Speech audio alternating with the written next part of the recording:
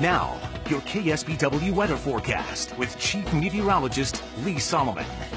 Good evening, everybody. We'll take you through the temps uh, from earlier today, and it was mostly 50. Santa Cruz did get a 60 out of it, and we did see some middle 60s right around Soledad. Tends to be one of our warmer spots. King City, though, just 60 and 55 this afternoon in San Jose. So chilly, certainly, uh, with the cloud cover uh, rotating in. We got a little area of low pressure right there moving into uh, parts of Nevada, and uh, the clouds are rotating down around that. So we saw a mix of sun and clouds and an occasional shower. A little easier on the water vapor imagery to kind of see that little swirl there. That will start to head out. So our shower chances definitely declining here the next 24 hours. The precipitation across the state is mostly spotty, some light snow showers up in the Sierra. We still have a winter weather advisory for maybe one to three inches of snow and those spotty showers that have been uh, from about the Monterey Bay northward up into the Bay Area at times. Futurecast showing not a lot of activity next 24 hours. We could see a little bit of mist and drizzle in the hills, an occasional pop-up shower. This is tomorrow morning, and you can see tomorrow afternoon kind of the same thing. You can see where the bullseyes are, and that might be kind of overcalling it, right? That's just kind of pinpointing that most of what we get, if we get anything, will be up in the Santa Cruz Mountains, maybe up over the Santa Lucias.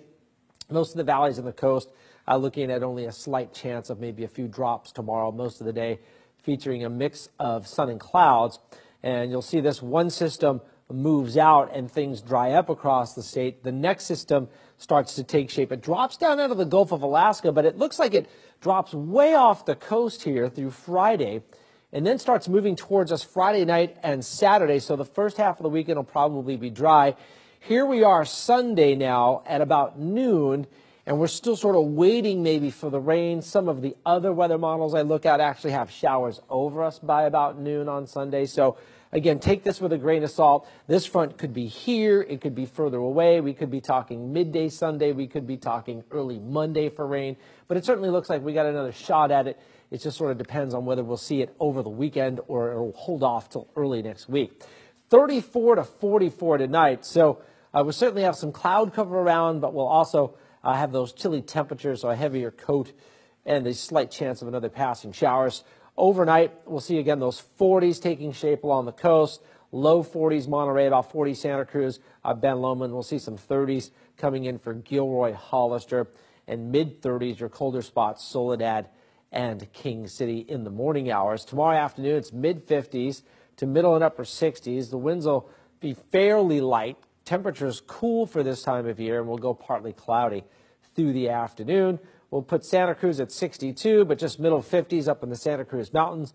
Upper 50s, San Jose and Gilroy, Hollister at 58. We got a 68 for Soledad, 62 King City, just around 60 Watsonville, Salinas. So you get the idea. Upper 50s to around the low 60s for just about everybody tomorrow afternoon. Cooler spots again up in the Santa Cruz Mountains. Your KSBW eight day forecast.